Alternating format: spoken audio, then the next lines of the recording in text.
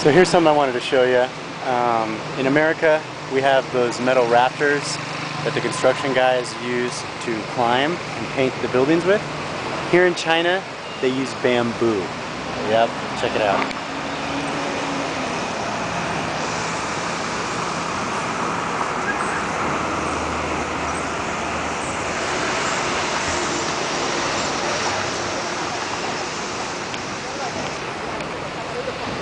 And I can assure you this is not an isolated incident.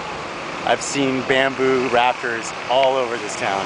I don't know if it's an economic thing or if bamboo is really that strong, but evidently construction workers uh, prefer or not really necessarily prefer, but they just end up using it whether they like it or not.